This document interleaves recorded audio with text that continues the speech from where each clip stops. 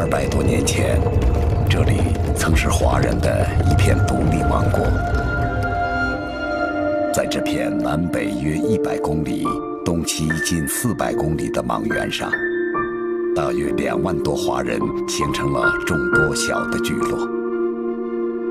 他们开采金矿，从事农耕贸易。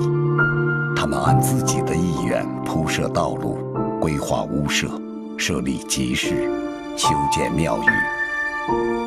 他们自行铸造钱币。他们二百多年前，这水手曾是华人的一片，这就是蓝方。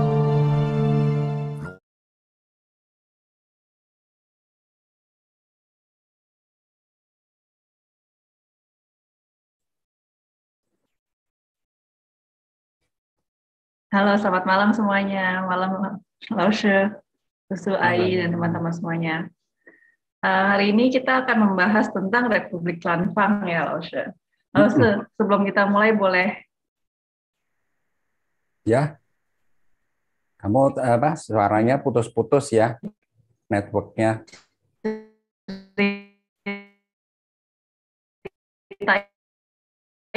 mungkin Suaranya eh, putus-putus, uh, Yohan.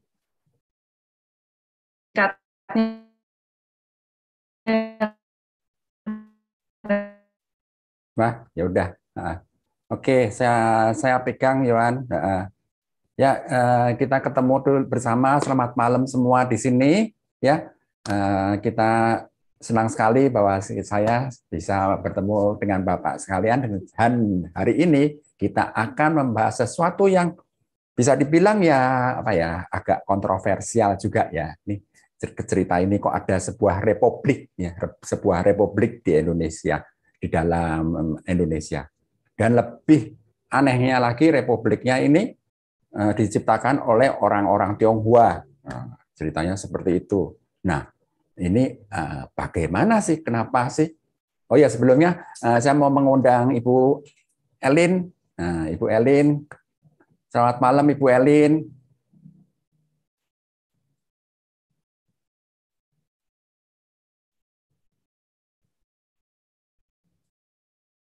Ibu Elin, bisa uh, keluar? Belum ada. Oke, kalau gitu kita apa akan coba lanjutkan saja ya, tidak apa-apa. Jadi hari ini ini adalah sebuah cerita yang terjadi di masa lalu, ya, sebuah republik Tionghoa. Nah itu Ibu Ellen. Ibu Ellen, uh, yeah. jelas ya? Oke. Okay. Yeah. Uh, nah, siap. Yeah. Ibu Ellen tahu enggak mengenai cerita ini? Lanfang ini pernah dengar nggak sih sebetulnya? Belum, belum tahu Pak Chang. Jadi hari ini menarik sekali ini topiknya ya. Oh. Eh, saya kira kita di Indonesia banyak juga yang kepengen tahu tentang Lanfang ini. Iya. Eh. Padahal itu sebenarnya kalau orang-orang Kalimantan, Tionghoa Kalimantan semuanya pada tahu semua Republik Lanfang ini. Cuma oh. orang-orang Jawa ini tidak, tidak tahu. Yeah, uh -uh. yeah. Ya itulah karena dulu waktu itu kan yeah. kita juga terpisahkan ya, uh, hmm. juga bisa, jadi yeah. tidak diketahui gitu. Nah, ceritanya begini, Bu. Itu mulainya hmm. pada tahun 1750 ya. Tiongkok hmm. itu di masa zamannya Kaisar Qianlong. Qianlong. Ya, hmm. saya keluarkan gambarnya Qianlong. Nah, udah keluar. Nah, ini zamannya ini Kaisar Qianlong ini, Qing, ya dinasti Qing ini. Nah, dinasti Qing ini inilah nanti kita lihat ada kejadian apa Nah, itu pada saat eh, di dinasti Qin ini mulai, nah di Amerika juga mulai yang namanya revolusi kemerdekaan Amerika. Nah, jadi berbarengan nih ceritanya nih berbarengan karena nah, ini mengenai sebuah republik loh sama-sama republik nih. Nah, nah, bagaimana dengan Indonesia pada abad itu? Tentu pasti di Indonesia Pas dari saat itu ya sebagian dikuasai sama Belanda. sebagian, bukan semuanya. Nah itu itu yang daerah yang uh, orangnya itu Belanda, yang orangnya tua itu benar-benar dikuasai, yang orangnya muda itu uh, dia ada kerjasama sama raja-raja setempat. Itu jadi tidak semuanya di Indonesia itu dikuasai Belanda pada zaman itu. Belum sampai itu ya. Nah sekarang kita lihat. Coba uh, saya putarkan sebuah perkembangan kekuasaan di Borneo ya. Pada saat itu Kalimantan disebutnya Borneo bukan Kalimantan seperti sekarang tapi Borneo dia sebutnya saya pasang videonya apa sih sebenarnya sih Borneo itu? Kalimantan itu dulu itu masih berupa negara-negara kecil-kecil. Ya. Ini kalau kita lihat dari saya ngambilnya dari mulai tahun 1618 jadi supaya nggak terlalu lama. Ini Kalimantan berubah ada Kutai, nah terus itu ada Banjar, makin lama makin besar. Panda, Kesultanan.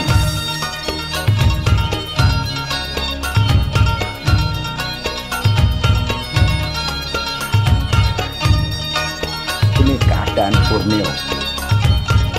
Ya, tahun 1700. Kekuasaan Kesultanan Landa.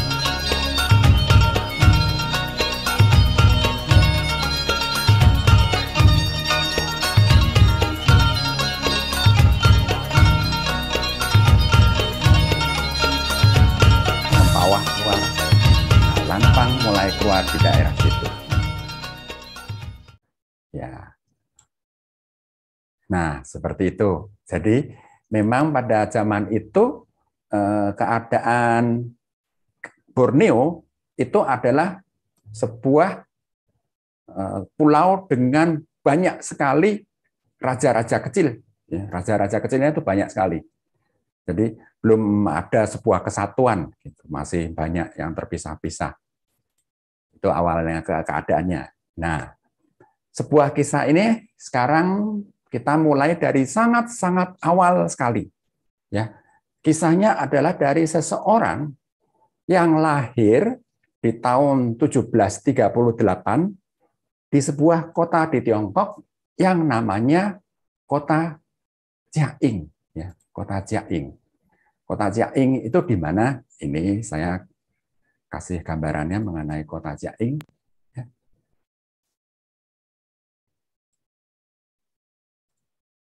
Iya, di provinsi Guangzhou, Guangdong, ya Guangdong. Jiaingzhou, ya, yang berwarna biru itu adalah Jiaing. Ya.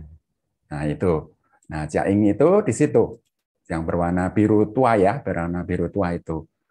Nah itu adalah wilayah Mejo sekarang. Ya, sekarang itu adalah wilayahnya Mejo. Jadi itu tempatnya orang-orang Hakka atau Gejia kalau pakai bahasa Mandarin Gejia ya atau kita kalau sering bilang sih orang Ge itu kalau orang-orang Indonesia mengatakan orang Ge. Nah, ya. nah itu mereka pada datang. Nah, mungkin ada yang mau tahu apa orang HK itu siapa sih sebenarnya? Nah, saya mau meminta seseorang untuk membantu saya menjelaskan siapa itu orang HK sebenarnya ya. Oke, ya. Sekarang saya mau minta Sarah, Sarah coba bantu saya. Hmm. Ya, Sarah. Halo. Halo, Sarah. Hmm. Selamat malam, Sarah. Nah, Sarah Selamat ini malam. dia sekarang adalah berada di Kuangsi posisinya. Ya. Dia juga orang Hakka. Jadi saya lebih baik meminta seorang Hakka untuk menjelaskan apa itu Hakka. Ya. Oke, silahkan Sarah. Oke, Bapak-bapak dan Ibu-ibu malam. Bapak Chang yang saya hormati, serta teman-teman yang saya cintai. Terima kasih untuk kesempatan yang diberikan pada saya untuk memberi perjelasan singkat tentang apa itu Hakka. Nama Mandarin saya adalah Zhou Ruixi. Dalam dialek Hakka adalah Zhou Ruixi. Dan nama Indonesia saya adalah Zara. Saya dari kota Heyuan, Provinsi Guangdong, Tiongkok. Dan tentu saya juga seorang Hakka. Bangsa Tionghoa adalah bangsa yang besar. Etnik Hakka adalah salah satu cabang dari pohon besar bangsa Tionghoa. Nenek moyang Hakka berasal dari tempat lahirnya peradaban Tiongkok yaitu di lembah Sungai Kuning, Huanghe. Pada zaman dinasti Tang dan Song, karena bencana alam dan perang, mereka berpindah ke selatan dalam jumlah besar. Mula-mula mereka menetap di daerah pegunungan di persimpangan Fujian, Guangdong, dan Jiangxi. Dari sana mereka menyebar ke luar negeri. Sekarang ada puluhan juta orang Hakka di lebih dari tiga, uh, 70 negara di dunia. Orang sering mengatakan di mana ada matahari ada orang Tionghoa dan di mana ada orang Tionghoa pasti ada orang Hakka. Orang Hakka telah menjadi salah satu kelompok etnis Tionghoa yang paling banyak tersebar dan berpengaruh uh, di dunia saat ini. Nama Hakka sendiri berasal dari julukan oleh orang Kantung pada zaman dinasti Qing terjadi pertempuran besar antara kelompok Hakka dan Kantung. Orang Kantung di Guangdong Barat menyebut dirinya sebagai tuan rumah di daerah itu dan menyebut kelompok kami yang pendatang se sebagai Hakka yang artinya para tamu. Hak artinya tamu, gak artinya keluarga. Awalnya ini merupakan sebutan penghinaan, tapi pada akhirnya menjadi nama kelompok etnis kami. Walaupun beberapa orang baru menerima istilah ini, misalnya di beberapa kabupaten uh, Ganzhou atau sebagian Taiwan.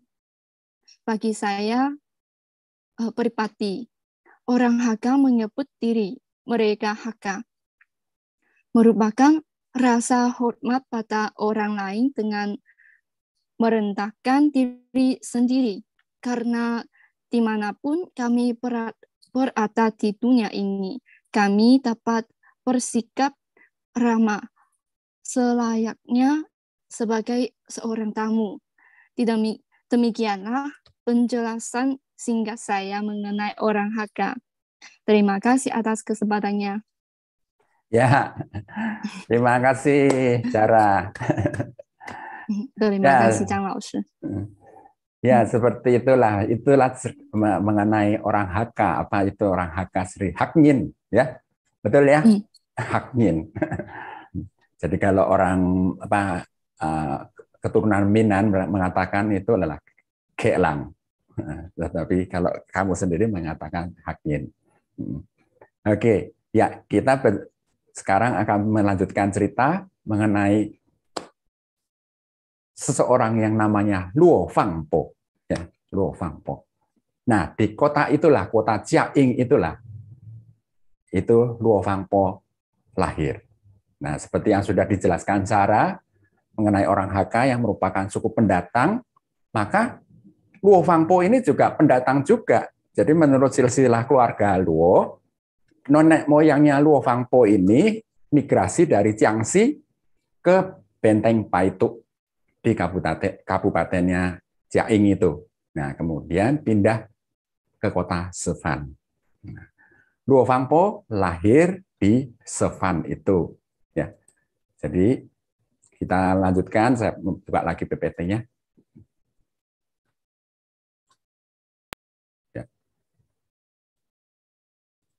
Ya. Luo. Nah. Dia lahir tahun 1738.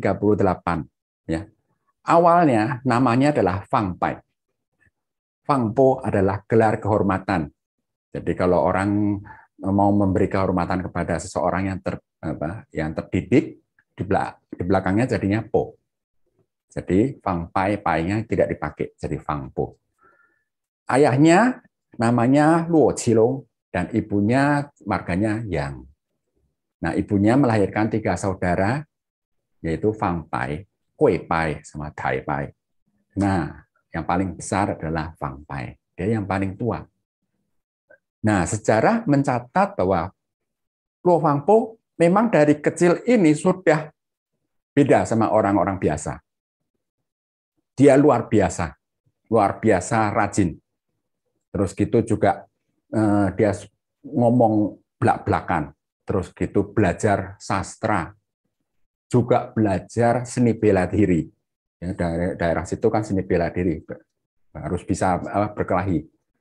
Untuk jadi terbaik di antara teman-temannya. Karena dia orangnya ambisius. Nah, dalam dia juga rajin gitu dianggapnya eh, kalau sudah bekerja ya udah jadi eh, dia tetap harus belajar tidak boleh berhenti jadi dia juga bertani mengembala rajin segala hal karena dia merasa bahwa banyak kepandaian itu tidak akan membuat orang itu kehabisan tenaga. Jadi dia mau belajar apa saja sesukanya, sebanyak-banyaknya. Nah, pada saat usia 25 tahun, dia menikah. Ya, dia sudah menikah dan punya satu anak. Tapi dia karena tidak bisa eh, melewati ujian negara, jadi zaman dulu itu ada namanya ujian negara untuk menjadi syucai. Jadi syucai itu adalah orang yang jadi terpelajar secara di dalam kekaisaran Nah, kalau terpelajar itu nanti pangkatnya bisa jadi tinggi, ya. Nah, itu itu dia harus bersaing dengan orang-orang yang begitu banyak untuk ikut ujian nasionalnya di kota. Ya. Nah, dia itu tidak bisa lewat. Tidak bisa lewat terus. Ya. Jadi sampai usia 34 tahun dia tidak berhasil, akhirnya dia memutuskan untuk merubah nasib. Habis miskin terus, bosen dia. Bosen jadi miskin. Akhirnya dia dengar-dengar, loh ini kok ada kisah mengenai gunung emas. Nah, gunung emas. Orang-orang pada pada mau pergi ke gunung emas. Gunung emas itu di mana? Di Borneo. Ya. Saya pakai istilah Borneo karena zaman dulu namanya memang Borneo. Jadi orang-orang itu orang-orang Tionghoa pada pergi ke Borneo untuk menuju mencari emas di Gunung Emas. Akibatnya dia oke memutuskan untuk meninggalkan keluarganya dan bersama dengan 100 teman-temannya dia pergi melakukan perjalanan dari Humen, Guangzhou ya, dan menuju Gunung Emas di Borneo. Ya, sekarang saya saksikan sebuah video berikut.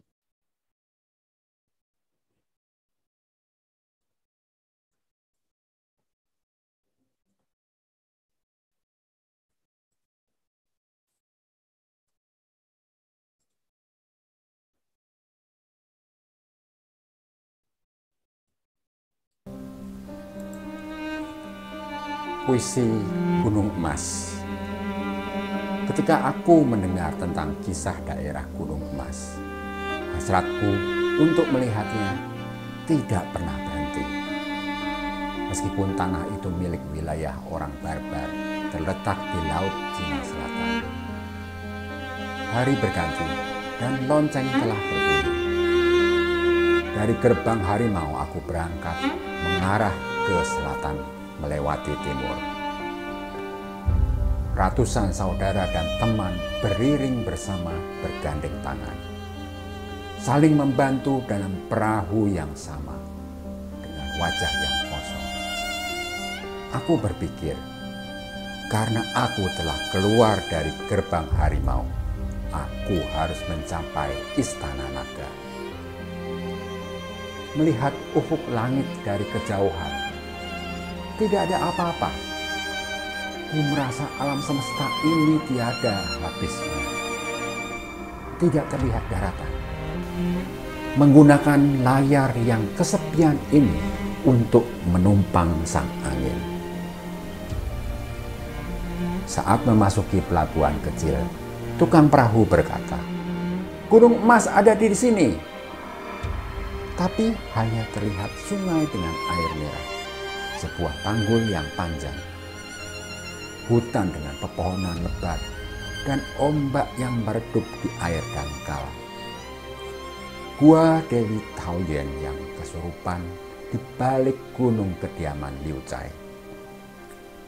Kedua sisi selat itu berkabut. Ribuan mil cahaya bertemu dengan kehijauan. Puncak yang tinggi sepinan indah dengan pegunungan di sekelilingnya yang penuh kecemerlangan. Bayangan pohon saat matahari terbenam, aliran air musim gugur.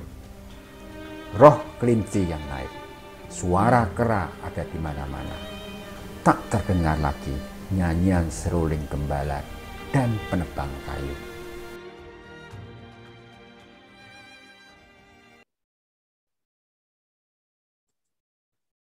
Ya, ya, itu adalah puisi dari Luo Fangpo. Ya, saya coba menerjemahkan ke dalam bahasa Indonesia. Jadi dari sini sudah ketahuan bahwa memang Luo Fangpo itu bukan sembarangan. Jadi orang yang memang sangat terpelajar. Ya, dia katakan bahwa e, saya sudah meninggalkan kandang harimau. Saya harus mencapai istana naga. Ya, dia katakan seperti itu. Ini adalah perumpamaan ya, perumpamaan di Tiongkok kuno bahwa yang namanya naga dan harimau keduanya adalah simbol dari raja. Dan istana naga itu juga identik dengan sebuah kekuasaan. Jadi karena dia sudah memutuskan akan berangkat ke luar negeri, maka dia harus sukses di luar negeri. Tadi itu hanya sebagian dari puisinya Luo Fangpo. Dia membaginya dalam tiga bagian sebetulnya. Yang tadi itu paragraf pertama yang mencatat mengenai pada saat dia mulai berangkat dari Tiongkok menuju Gunung Emas, Borneo. Jadi dia menggambarkan mengenai pemandangan pada saat dia turun itu bagaimana sih Borneo itu. Nah, kemudian pada paragraf keduanya dia menceritakan mengenai perkembangan dari tambang emas di Borneo. Jadi dia menceritakan mengenai mereka itu memakai saringan bambu untuk eh, mendulang emas gitu. Nah, yang bagian terakhirnya, yang bagian ketiganya itu mengungkapkan perjuangan perasaan perjuangannya dia yang bertahun-tahun di daerah itu. Jadi eh, puisi ini bukan puisi pada saat dia datang ke Borneo, bukan. Tetapi sudah beberapa saat kemungkinan kemungkinan itu itu sekitar dua tahun lah, dua tahun sudah dia eh, berada di sana. Jadi pada saat dia mau menjadi presiden dari yang namanya Republik Lanfang itu. Nah, itu dia buat puisinya ini. Gitu. Oke, ya. Sebelum kita lanjutkan, saya mau juga menceritakan satu tokoh lagi yang juga pergi ke Gunung Emas ini. Ya. Jadi namanya adalah Wu Yuanseng. Wu Yuanseng ini dia juga penduduk asli Kabupaten Caing. Ya. Jadi berbedanya dia adalah besar, kuat, sama-sama bisa sebenarnya bela diri, kekuatan fisiknya juga hebat, revolusioner. Nah itu pada saat dia di Tiongkok itu dia mau meluncurkan pemberontakan melawan dinasti Qing. Ya perlu diingat bahwa waktu itu dinasti Qing itu adalah bukan bangsanya Tiongkok ya kalau bangsanya Tiongkok kan Han ya Nah itu, nah, kalau Jing itu mancu bangsa pendatang. Nah itu ada gerakan perlawanan melawan Jing. Nah, Wu Yuansheng mau mengadakan pemberontakan, tapi ketahuan, ketahuan dia dikejar-kejar, dicari oleh pemerintah daerah dinasti Qing. Nah itu dia melarikan diri sama pasukannya ke wilayah Gunung Emas. Borneo. Nanti di Borneo dia membuat kongsi Juseng yang berpengaruh besar di sana. Dan nanti kemudian dia akan menjadi salah satu dari panglima kepercayaan dari Luo Fangpo. Nah, sekarang kembali lagi ke Luo Fangpo. Ya. Oke, pada saat kedatangan Luo Fangpo, Borneo sendiri seperti yang tadi sudah dilihat dari gambar petanya bahwa terdiri dari banyak kesultanan. Jadi kesultanannya sendiri tidak besar, jadi satu, seperti tidak seperti Sriwijaya, Majapahit gitu, bukan, tapi kecil-kecil. Nah, jadi mirip apa seperti raja kecil lah, penguasa tuan tanah tuan tanah gitu. Nah, pada tahun 1740 Sultan atau Panembahan Mempawah ya, mengundang orang Tionghoa pertama kali untuk membantu menambang emas di Sungai Duri. Ya. Panembahan Mempawah tahu orang Tionghoa pandai menambang seperti yang mereka lakukan di Sumatera, karena dia punya saudara di Siak, Kesultanan eh, Riau ya. Jadi dia punya saudara. Nah, dia tahu oh orang-orang Tionghoa ini kok pinter-pinter ya buat nambang ya. Akhirnya dia mendatangkan beberapa orang, ya, beberapa orang-orang dari Borneo, dari ini Brunei, dari Brunei dia datangkan dari Brunei. Nah sesudah berapa orang ini tim menambang, wah kok eh, akibatnya akibatnya kerajaannya jadi makin kaya. Nah melihat mempawah makin kaya, Kesultanan Sambas juga ikut-ikut. Nah, jadi ikut-ikut ya orang ini kok bisa kaya nih. Nah, dia Sambas ini kesultanannya merekrut tujuh orang Tionghoa dari Penang untuk membuka pertambangannya. Nah, ence-ence ini disuruh untuk menambang emas di Sambas. Nah, mereka membuka eh, pertambangan di Rajang, dan tempatnya orang Tionghoa ini mulai meluas ke bawah sampai ke Montrado. Nah, sejak saat itu ada 12 kelompok ya, ada 12 kelompok di Rajang, terus gitu ada 24 eh, kelompok di Montrado. Dan mulailah kelompok-kelompok yang lain juga muncul kelompok-kelompok pertanian mulai muncul juga. Nah, sekitar tahun 1770 orang Tionghoa ini berontak, Kesultanan Sambas dia berontak. Dia nggak suka karena masalahnya merasa rugi gitu Kan e, mereka bekerja di situ mereka harus bayar kepada ke Kesultanan Sambas gitu. Makanya mereka berontak. Nah, pada saat berontak itu berhasil dikalahkan oleh ya orang apa Kesultanan sama orang-orang Dayak juga gitu. Nah, Kesultanan bekerja sama sama orang Dayak tapi ya eh, sudah nggak tidak di apa tidak diusir disuruh kerja tetap seperti biasa pokoknya setiap bulan satu kongsi itu harus setor satu kilo emas satu bulannya kamu bisa bayangkan satu bulan setor satu kilo emas ya satu kilo itu emas itu berapa katakanlah kalau sekarang ini satu gram emas itu sekitar kalau uh, solid itu 900 ribu, ya katakanlah itu enggak solid. Ya itu sekitar 400 ribu. Jadi sebulan dia harus store kepada Kesultanan 400 juta. Itu. Nah, itu. Jadi itu yang terjadi pada saat eh, zaman-zaman itu. Ya. Nah, pada periode ini, kan periode ini sudah mulai masuk periode jadi tren untuk menuju ke Gunung Emas ya. tren ke menuju ke Gunung Emas ini orang Tionghoa itu setiap tahun itu ada 2000 orang masuk ke Kalimantan Barat. Jadi ada 2000 orang masuk ke sana. Tahun 1771 barulah namanya Pontianak atau Kuntien dibangun.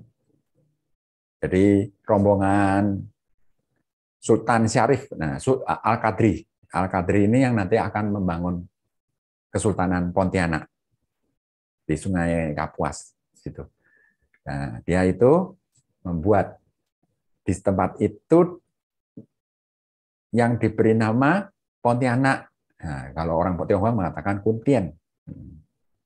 Kemudian berdirilah sebuah eh, kesultanan kecil. Ini kesultanan baru ya. Pontianak ini kesultanan baru yang masih kecil. Tahun 1772 barulah Luo sampai di Borneo. Ya. pada saat itu Kalimantan masih sedikit orang dan masih banyak hutan belantaranya.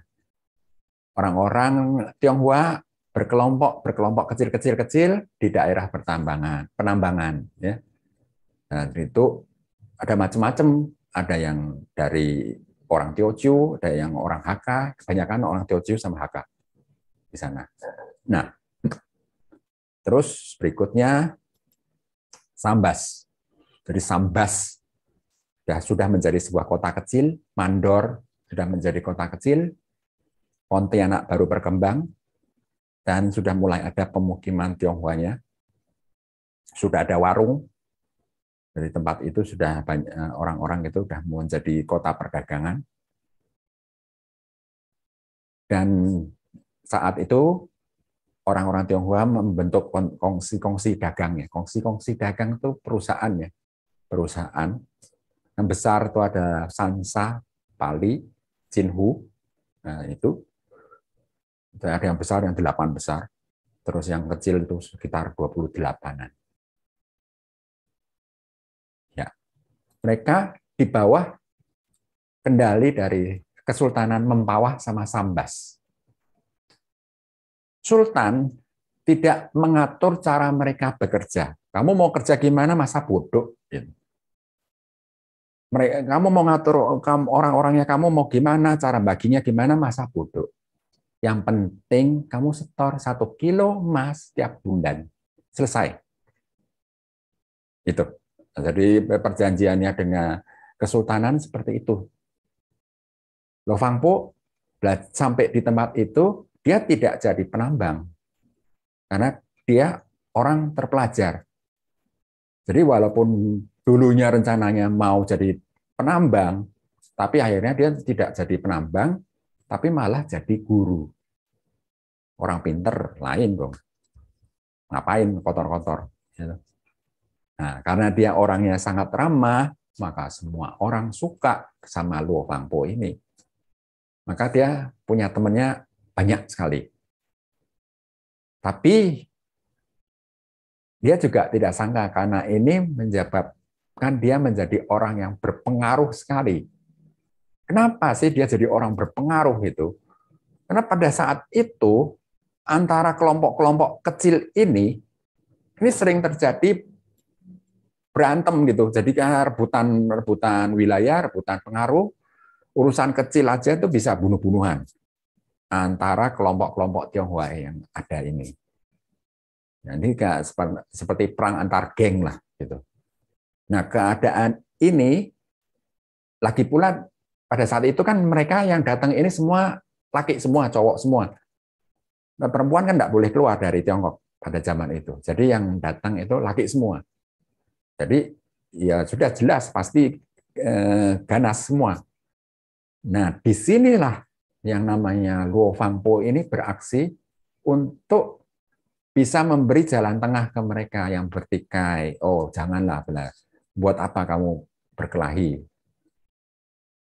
Luo Fangpo berharap bagaimanapun mereka juga mereka itu orang Tionghoa dari Tiongkok jauh-jauh datang ke sini seharusnya bersatu, tidak saling apa bunuh-bunuhan. Nah, itu yang diharapkan oleh Luo Fangpo. Nah, karena dia itu terpelajar, pinter ngomong, maka orang lain juga mau dengar. Kalaupun nggak mau dengar, seperti yang sudah saya ceritain bahwa Luo Fangpo sendiri, dia juga seorang ahli kungfu, ya tinggal ditekuk digebuk sama dia, nah, karena dia seorang ahli kungfu juga. Tapi sebenarnya adalah sifatnya itu yang adil, yang bisa membuat Luo Fangpo ini dihormati semua orang. Terus ada satu hal lagi juga yang mendorong Lo Fan Po untuk mau mempersatukan seluruh Tionghoa. Karena pada saat itu dia tahu, dia sangat khawatir sekali. Khawatir pada apa? Dia khawatir pada VOC. Nah, VOC sudah mulai datang di situ. Nah, VOC juga berusaha menguasai para penambang emas. Dan mereka punya senjata. Jadi bisa menyerang orang Tionghoa kapan aja. Lo Fangpo juga mengetahui bahwa yang apa yang sudah kejadian di Batavia, ya peristiwa geger pecinan juga itu, ya pergerakan perlawanan di Jawa yang masih berlangsung ya pada saat itu kan, ya itu masih ada perang lasem dia tahu hanya dengan mempersatukan seluruh Tionghoa Kalimantan Barat ini, maka Belanda tidak bisa begitu mudah untuk merampas harta mereka lah. Nah, tapi bagaimana cara mempersatukan orang Tionghoa? Sudah tahu sendiri bahwa sifatnya mereka itu tidak mau bersatu dan saling rebutan antar kelompok. Makanya Akhirnya dia putuskan untuk membuat sebuah organisasinya sendiri. Nah, organisasinya ini yang dinamakan Lan Fang Hui. Ya. Lan Fang Hui. Oke, kalau diterjemahkan adalah artinya adalah perkumpulan anggrek semerbak. Kok namanya kayak perempuan ya, anggrek semerbak. Kenapa milih-milih nama seperti ini? Nah. Ini karena Fang adalah jelas dari namanya Luo Fangpo. Ya. Ya itu. Tapi sedangkan nama Chen itu adalah dari nama Chen Lanpo. Ya, Chen Lanpo. Nah, Chen Lanpo itu adalah orang yang sangat berpengaruh. Ini. Pada saat itu. Jadi lannya diambil dari Chen Lanpo, Fangnya dari nama dia sendiri, Lan Fang. Jadinya itu. Ini cerdiknya Lo Fang Po. Kenapa? Karena dia orang tidak terkenal saat itu. Bukan orang yang sangat besar. Dia memakai namanya Jelan Po yang kalah besar. Jelas bukan yang menjalankan ini adalah Po, tapi yang menjalankan organisasi ada Luo Fang Po. Itu yang menggerakkan. Nah, lantas sebenarnya apa ini organisasinya Lan Fang Hui ini buat apa? Yaitu adalah buat pertanian. Ya. Dia organisasi pertanian, bukan organisasi sosial. Nah, ini dia organisasi pertanian. Nah, kenapa sih eh, bisa ke ini? Pada saat eh, si Lo Fangpo ini ke Borneo, dia itu tidak kan tidak membawa istri.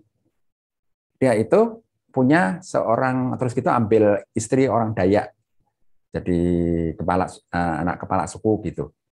Nah, sudah jelas dia mempunyai tanah kan. Berarti dia mempunyai kekuatan untuk oh ya nanti eh, mesti perdagangnya seperti apa petani secara pertanian.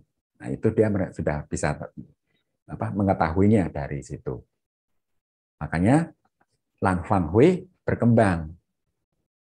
Tapi yang dia tidak sangka karena Lan Fang Hui ini langsung langsung berhadapan dengan satu organisasi yang namanya adalah Jianti Hui. Sama-sama ini adalah organisasi yang dari berdasarkan untuk pertanian. Tapi Dian Tihui ini asalnya adalah pemberontak.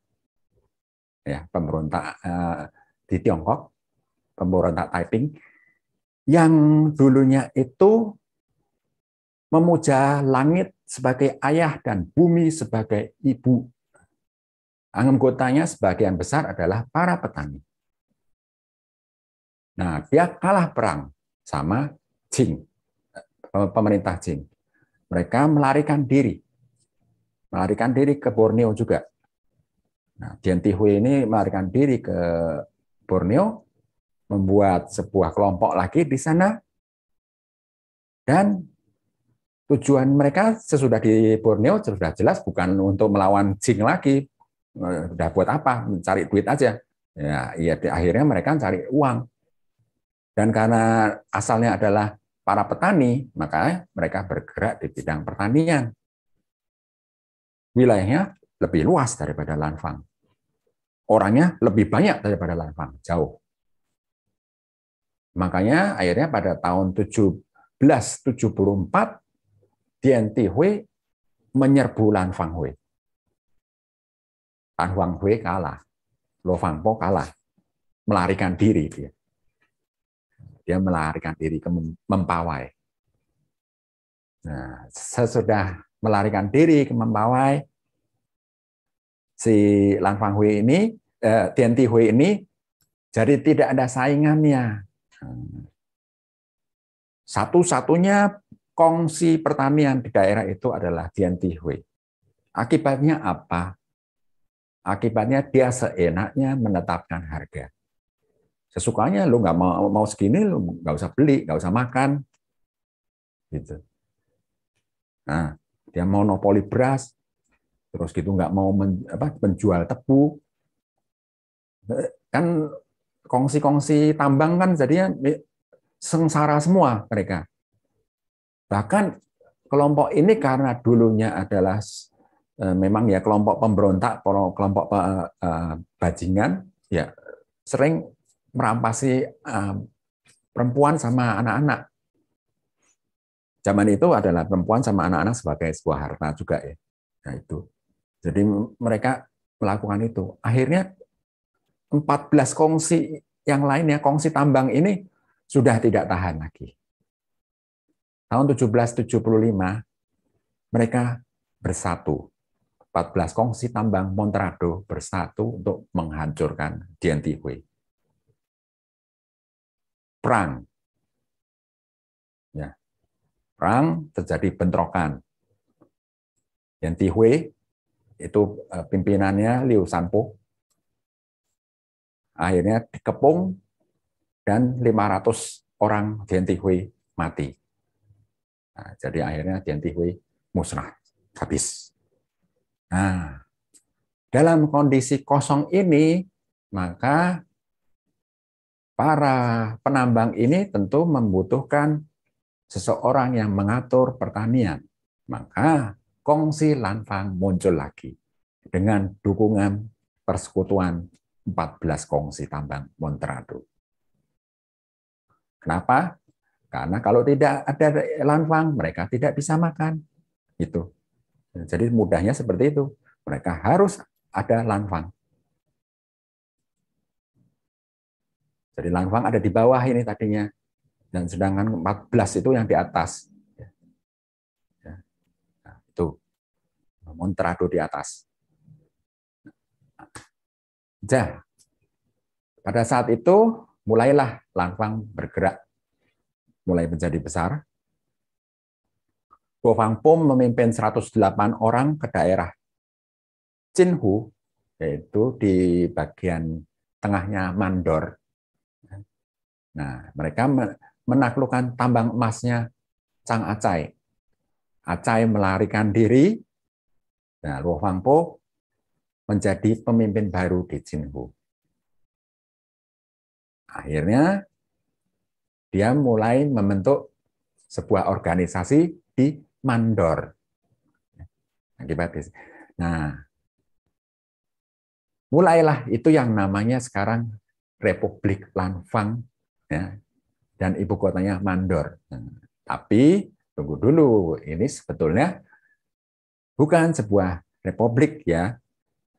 Nah, tahun 1776 itu berdiri dari ada 20 ribu penduduk Tionghoa, terus gitu juga 20 ribu penduduk asli itu bergabung untuk masuk ke dalam kongsinya Lanfang.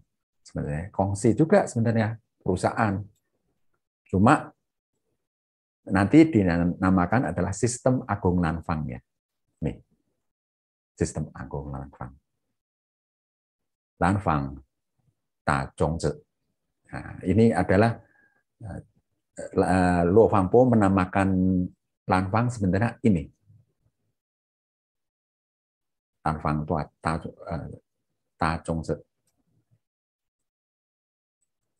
Di gerbangnya, gedungnya ada plakat ini, dan ada bendera segitiga para pemimpinnya. Di lobi ada plakat emas juga. Nah, tulisannya Xiongzhen Huai, kota jantan Tionghoa dan juga pribumi. Karena dia juga uh, membawahi orang-orang pribumi juga. Karena ada 20 ribu orang pribumi para pejabat di kantor pemerintahnya itu kalau pejabat tinggi pakaiannya adalah pakaian tradisional Tionghoa, pakaian koko. Sedangkan pejabat yang lebih rendah itu pakaian ya model pakaian eh, gaya barat biasa gitu yang pakaian biasa. Nah, sedangkan para prajurit itu berpakaiannya seperti tentara dinasti Qing warnanya cuma hijau. Kalau di Jing sendiri warnanya hitam. Ya, dia warnanya hijau. Sebenarnya dengan pasukan pada saat itu Lanfang itu sudah mulai beli beli senjata, sudah melatih pasukan. Kenapa mau punya pasukan? Sebuah perusahaan punya pasukan. Buat apa dia? Nah ini untuk mempersatukan seluruh kelompok Tionghoa. Karena dia punya pasukan, dia bisa membantu para sultan mendapatkan wilayah kekuasaan dan mendapatkan wilayah kekuasaannya juga karena eh, sultan-sultan itu juga secara sukarela kasih ke dia untuk daerah yang diatur dia. Para sultan di Borneo kan pada saat itu juga bersaing masing-masing. Nah, Sultan yang baru adalah Sultan Kuntian kan, Pontianak itu. Pontianak kan masih baru sekali. Dia lemah sekali. Nah, akhirnya dia mau memanfaatkan Lanfang. Dia minta sama Lo Fangpo, tolong dibantu nih Sultan Landa ini pasukannya kuat sekali. Lo Fangpo bantu dia. Ya, jadi bantu Sultan Pontianak ini, Kuntian ini. Nah, akhirnya dia kirim ke Landak dan mengalahkan pasukan Landak. Dan memaksa Sultan Landak untuk tidak menyerang Kuntian. Di tanda tangan Sultan Kuntian. Tanda tangan karena jasanya inilah jadi Sultan Kuntian juga menyerahkan sebagian wilayahnya dia untuk dikendalikan oleh Luo Fangpo. Dan itu dari Selat sampai Tayen sampai Sanggau itu dikuasai oleh Luo Fangpo. Dan paling hebatnya adalah Luo Fangpo bisa bekerja sama dengan 14 kongsi tambang yang ada. Jadi persekutuan 14 kongsi tambang ini menjadi sangat kuat sekali. Kenapa? Perusahaan ini, 14 kongsi ini mempunyai 110 ribu orang. Jadi sudah luar biasa besarnya. Jadi itulah pada saat itu eh, dia jadi dia seperti raja lah di situ ya. Mempersatukan seluruh Tionghoa. Ini Raja Pontianak yang dibantu sama dia untuk apa melawan landak.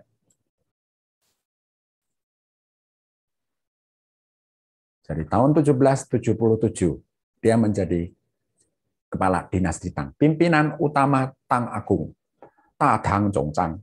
Ya, ya itu. Ini namanya sebutan posisinya dia. Jadi bukan dinamakan presiden, bukan dinamakan raja, tapi dia menamakan Ta Tang Zhongzang pimpinan utama Tang. Dan perusahaannya dinamakan Lanfang Ta Zhongzhe, yang artinya sistem agung Lanfang. Hmm.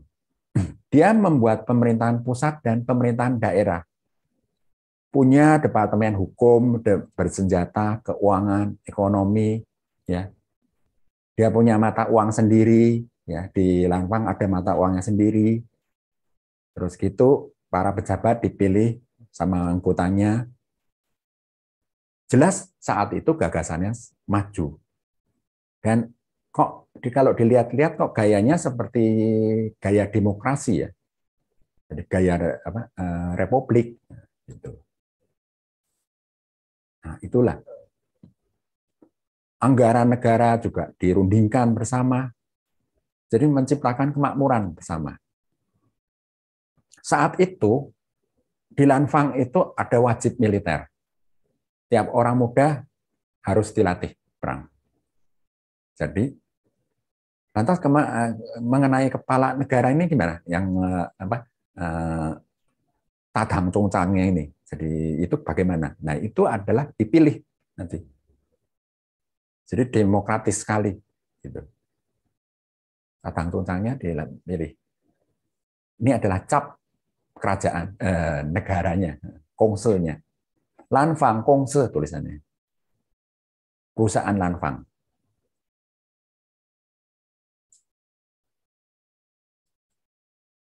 Nah, buaya. Kenapa gambar buaya? Nah, ini adalah salah satu cerita ya di sudah berdirinya Lanfang itu ada terjadi hama buaya buayanya banyak di daerah sekitar itu. Orang-orang pada ketakutan karena eh, banyak yang dimakan buaya gitu. Nah, para penduduknya itu lapor ke Lovangpo. Lovangpo, ini tolong dibantuin, ada banyak buaya nih, gimana nih ngatasinnya? Dia makan orang malah gitu, makan ternak sudah jelas gitu. Nah, akhirnya si Lo Fangpo menugaskan para prajuritnya itu diam-diam, ya, secara diam-diam dia kasih tahu, kamu pergi. Itu panahi. Itu nama apa eh, buaya-buaya itu dipanahin semua. Pakai panah beracun supaya mati. Pada saat dia menyuruh orang-orang yang itu untuk melakukan pembunuhan buaya itu, dia sendiri ketemu sama para anak, eh, para penduduk di sana dan mengadakan upacara persembahan gitu, sembayang gitu. Sama yuk sekarang kita sembayang. Mau sembayang untuk apa? Sembayang untuk ngusir si buaya. Pakai kebiasaan di sana. Nah, kebiasaan orang Teoju untuk apa? Sembayang untuk mengusir buaya udah sembayang sembayang sembayang eh betul. Buayanya kok hilang? Nah akibat dari situlah makanya orang-orang pada percaya sama Bo Fangpo nah, penduduk penduduk apa asli juga pribuminya juga merasa merasa wah hebat bener orang ini sakti bener ini kemampuannya kok bisa hilang? Padahal ya Ya namanya ditembakin semua sama prajuritnya ya habis juga si buayanya itu. Nah, itu jadi dia mendapatkan sebuah eh, jadi kepercayaan dari masyarakat dengan cara itu hilang menghilangkan buaya. Ya, jadi wilayah Mandor di bawah pemerintahan Lovampo sangat otonom sekali. Jadi dia mempunyai kekuasaan mutlak di sana. Cuma dia membayar, bukannya berarti tidak membayar pada sultan dia membayar. para sultan. Nah, tepat setelah berdirinya itu, sesudah berdirinya, Lo Fangpo mengirim orang ke dinasti Qing. Jadi dia kirim orang, orang kepercayaan untuk ketemu Kaisar Zhenlong dan minta untuk disebut sebagai negara vatsalnya. Negara vatsal adalah negara di bawah proteksi. Ya itu. Dia mau supaya Kalimantan Barat menjadi negara di bawah proteksi dari wilayahnya Qing. Tapi Zhendong sendiri tidak mau. Kenapa? Karena dia juga tahu bahwa ini dulunya adalah tempat orang-orang pelarian dari dinasti surgawi yang melarik yang berontak dulu. Makanya dia masa buduk tidak mau. Nah, padahal si Lo Fampo kenapa dia pengennya itu di bawah kontrolnya dinasti Jing? Karena dia tahu dia harus cari pendukung kuat. Karena ada VOC yang mau menghabisi Lanfang. Itu. Nah, itu makanya satu-satunya yang kuat apa? Yaitu adalah dinasti Qing. Dinasti Qing mas, mas, saat itu masih superpower. itu. Tapi ternyata kaisar tidak mau. Tapi untungnya pemerintah Qing setuju untuk dagang sama Lanfang. Nah, si Ruo Fangpo ini cerdik sekali. Dia memanfaatkan perdagangan dari Lanfang ke Qing, dinasti Qing, untuk membuat kesan bahwa Lanfang adalah negara bawahan dinasti Qing. Jelas langkah ini buat namanya Belanda, VOC itu ketar-ketir. Ya, nggak mungkin eh, Belanda itu bertindak tanpa pertimbangan kalau ada Jing. Gitu. Ya sedikit uh, melenceng dari kisah itu bahwa dulu itu Belanda diusir dari Taiwan tahun abad 17 uh, oleh dinasti Qing. Ya, dulunya Belanda pernah menguasai Taiwan lalu diusir sama Jing. Nah, itu. Jadi Belanda masih melihat wah ini ada apa-apa nih orang Tionghoa di sini nanti teriak sama Jing mati, gitu. Nah, oke okay. pada saat itu Luo Hangpo mulai mewujudkan cita-citanya dia jadi pimpinan utama Tang Agung dan mulai bakat politiknya dia dengan manajemennya yang bagus, dia menciptakan, menjadikan Pontianak, Mandor, Sambas, Singkawang itu menjadi kota kelahiran tambang emas yang kaya. Dan menjadi tempat yang indah untuk penduduk lokal dan juga orang-orang Tionghoa di situ. Jadi dia juga membuat irigasi, terus gitu meningkatkan pertanian, teknik pertanian, memang ngambil pajak ya, mengambil pajak. Nah, itu ada prinsip untuk apa ekspor, kalau diekspor sudah harus bayar, punya mata uang sendiri. Terjadi peningkatan kesejahteraan di Lanfang. Ya, cara pemilihan ketua Lanfang saat itu menurut pemahaman zaman sekarang itu adalah sangat demokratis. Jadi ketua kongsi dipilih melalui pemilu oleh seluruh, seluruh anggota warganya kongsi. Nah itu dituliskan sama J. Groot ini, JJ Groot, JJ Groot ini. Ini salah satu sinolog, sinolog, eh, nah di zaman Belanda. Dia cerita mengenai Republik eh, Lanfang ini kok ini sangat demokratis sekali gitu. Dia tuliskan seperti itu. Karena ada tulisan ini, banyak orang yang menginterpretasikan, menganggap bahwa Kongsi Lanfang ini adalah sebuah republik. Ya, Padahal di dalam bukunya ini juga. Groot tidak mengatakan ini sebuah republik. Tapi dia mengatakan bahwa ini menjalankan sebuah demokrasi. Memang Lanfang punya angkatan bersenjata, punya daerah, ya punya daerah. Tapi dia juga masih bayar sama Kesultanan Pontianak sama Mempawah. Dan juga jelas dengan ke dinasti Qing. Jadi kedudukannya sebenarnya Lanfang mirip dengan VOC terhadap kerajaan Belanda. Jadi ya, seperti perusahaan juga. Itu.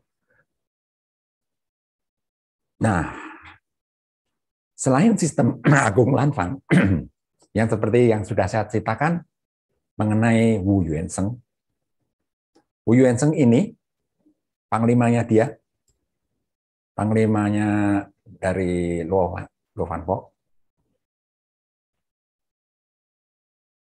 Dia satu saat di, di, diutus sama Luo Van Po untuk ke Tayen.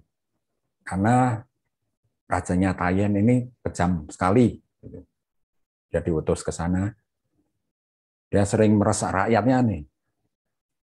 Ada ada laporan ke dia kalau ini ayah ini sultannya. Akhirnya Wu Yuansheng sama pasukannya pergi ke Tayen. Bilang mau kasih ini, mau kasih upeti, mau kasih emas. Tapi rajanya sudah curiga juga sebenarnya. Makanya dia siapkan untuk pasukannya di luar dari apa eh, kota itu dipersiapkan pada saat itu, begitu masuk, langsung si Wu ini membunuh rajanya itu. Nah, sesudah rajanya mati, pasukan pribadinya juga dibunuh sama pasukannya Wu. Tapi ratunya melarikan diri dan minta bantuan. Nah, minta bantuan, akhirnya si Wu ini terkepung dikepung sama pasukannya istrinya, istrinya Raja Tayen. Nah, mengetahui bahwa Raja Tayen ini sudah terbunuh dan dia udah terkepung, gimana nih caranya nih si Wu Yuansheng ini? Nah, dia kirim potongan-potongan kayu di dilempar ke Sungai Kapuas supaya diketahuan sama si Luo Fangpo. Minta bantuan sama Luo Fangpo.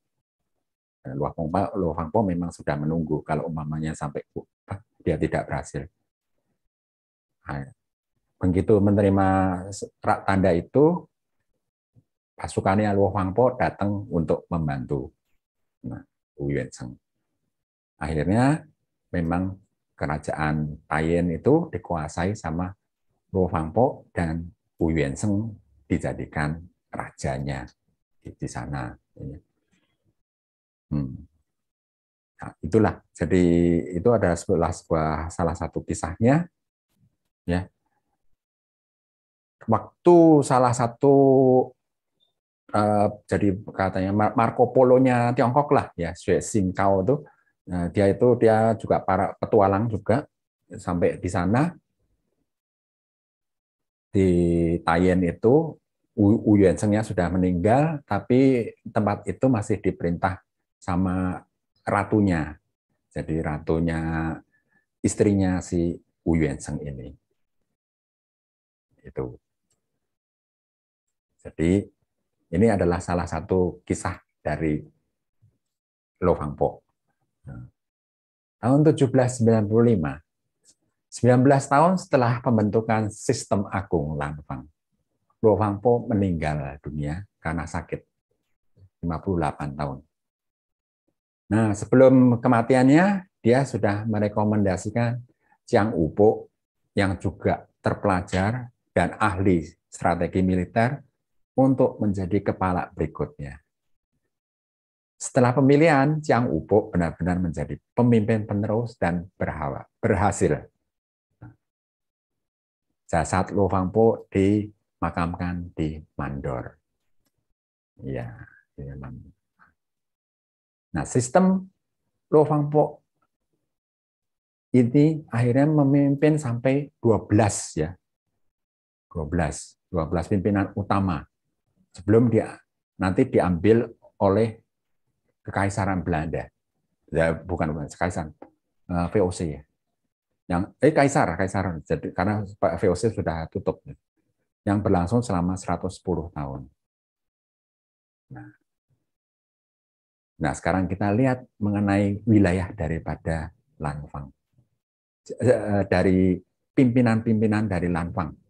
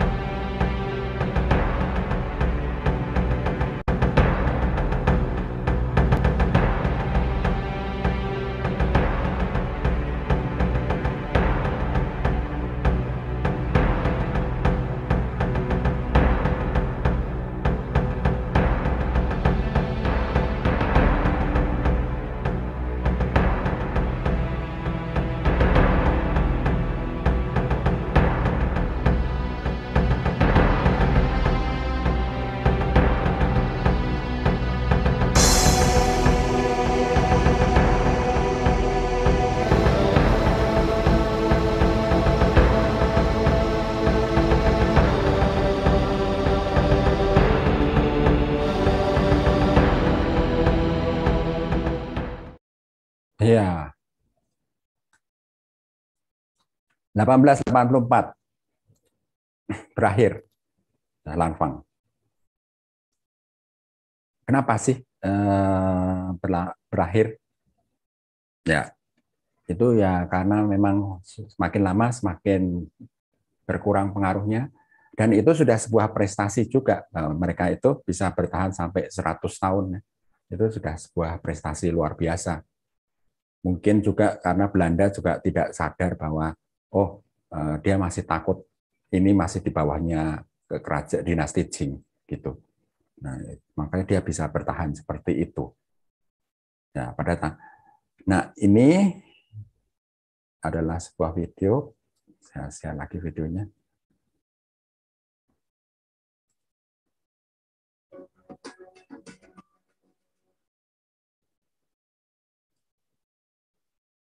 Buah akhir daripada kisah Fampo.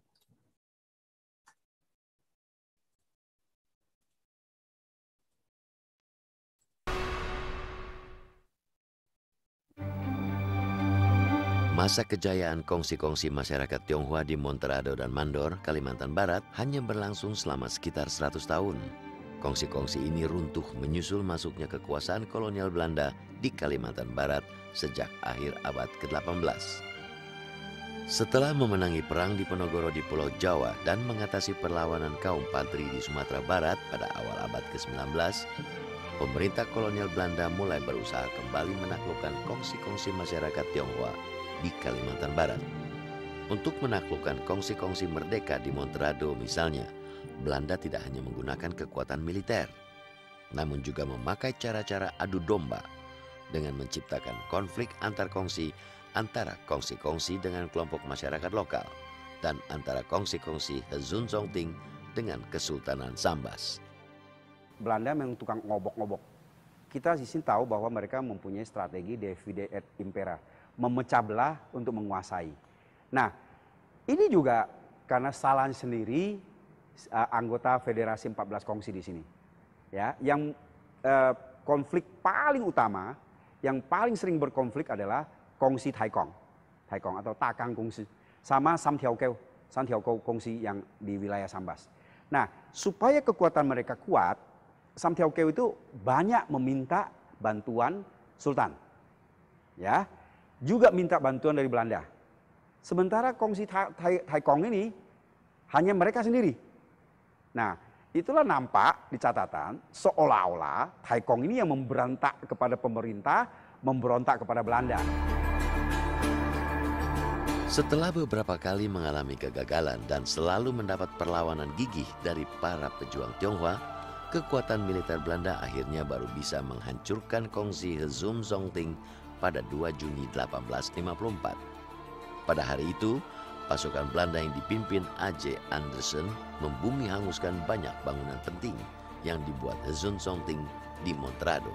Bercermin dari tragedi yang menimpa kongsi Hezun Zongting, kongsi Lanfang di Mandor menerapkan strategi lain untuk bertahan dari tekanan Belanda.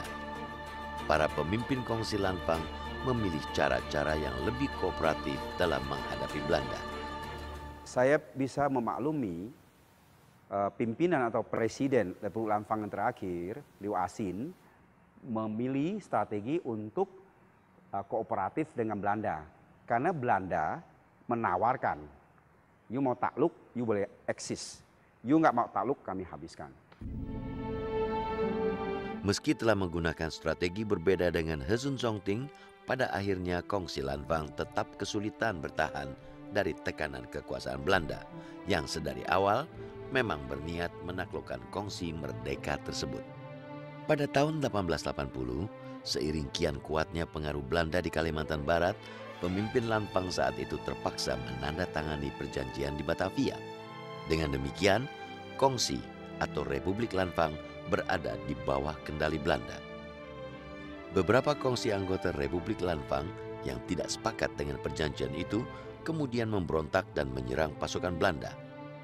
Namun, Belanda menggempur perlawanan itu dan berhasil menaklukkan Republik Lanfang pada tahun 1884. Pemimpin terakhir Republik Lanfang, Liu Ahsin, tewas dalam pertempuran. Dan sejak itu pula riwayat Republik Lanfang berakhir. Pasca jatuhnya kongsi Hezun Zongting di Monterado dan Republik Lanfang di Mandor, banyak warga etnis Tionghoa yang lolos dari serbuan pasukan Belanda menyelamatkan diri ke wilayah Singkawang, Sarawak, dan pulau-pulau lain. Sebagian warga Tionghoa pelarian dari Republik Lanfang, menurut beberapa catatan sejarah, juga membangun kehidupan baru di wilayah pesisir Selat Malaka yang saat ini dikenal dengan nama Singapura.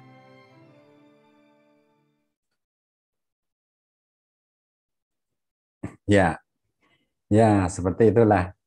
Akhirnya uh, berakhir Republik Lanfang ini dan uh, keturunan sebagian dari yang melarikan diri itu mereka membangun sebuah pulau yaitu Pulau Singapura. Nah, gitu. Makanya banyak orang yang mengatakan oh eh, Singapura kok banyak ya orang hakanya itu kebanyakan dari memang orang Lanfang. Salah satu keturunannya adalah yang namanya Perdana Menteri Lee Kuan Yew. Nah, itu neneknya adalah dari Lanfang, dari apa Kalimantan. Iya.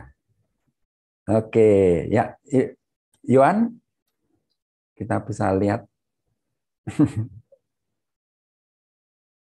Ini ada pertanyaan di sini. Oke, ya. Pak Chang, kalau dilihat banyak cewek Dayak yang mirip perempuan Tionghoa, apakah mereka ada kaitannya dengan orang Tionghoa ex Lanfang? Uh, ya, bisa dikatakan demikian ya.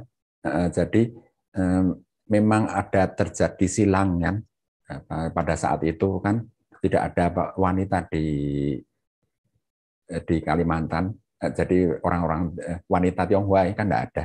Jadi pasti mereka menikah dengan orang-orang Dayak kebanyakan gitu.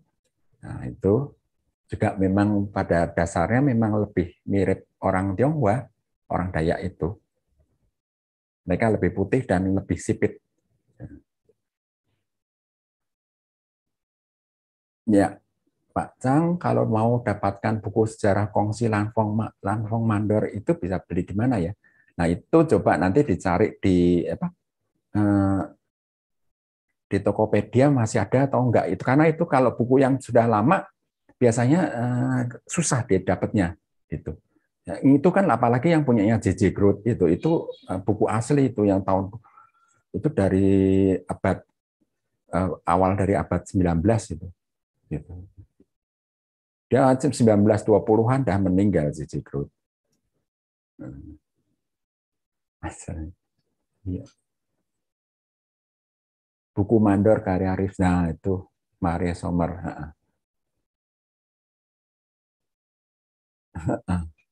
Oh iya. Uh. Oke, sebentar. Ayo, uh, Yohan.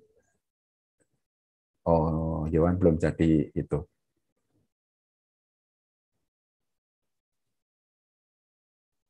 Kalau ada yang mau menanyakan, dipersilahkan ya.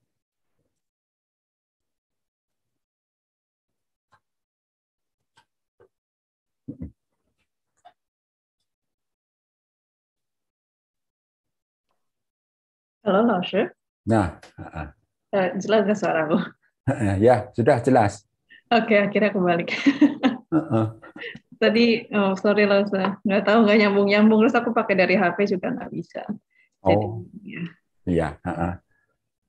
Oke. Okay. Ya, tidak apa-apa. Uh, coba itu aja, ada yang masih mau ditanyakan nggak? Ya, uh, Pak Nyoto ada mau tanya loh, ada raise hand nih. Aku astuan gitu ya. Oh ya, Pak Nyoto. Ya. Uh, izin bertanya ini, ya. Uh, Pak Cang, selamat malam. Selamat malam, Pak Nyoto. Saya Nyoto dari Pekanbaru ini. Wow, dari Pekanbaru. Ya, kebetulan saya juga peminat sejarah, terutama sejarah tentang Tionghoa. bagus sekali. Saya juga pernah riset itu Pak sampai ke Kalimantan Barat, termasuk Hasan Karman itu teman saya itu. Waktu di wali kota itu. ya Pak Nyoto. Nah, ya. Mungkin bagaimana tanggapan Pak Chang? Hmm? persoalannya sekarang ada persepsi dari kalangan uh, non Tionghoa uh, terhadap keberadaan uh, Lanfang ini.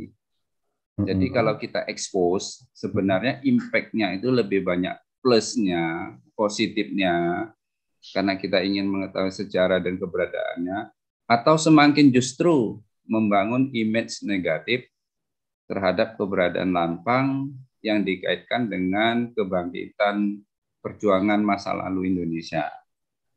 Itu nah, tergantung.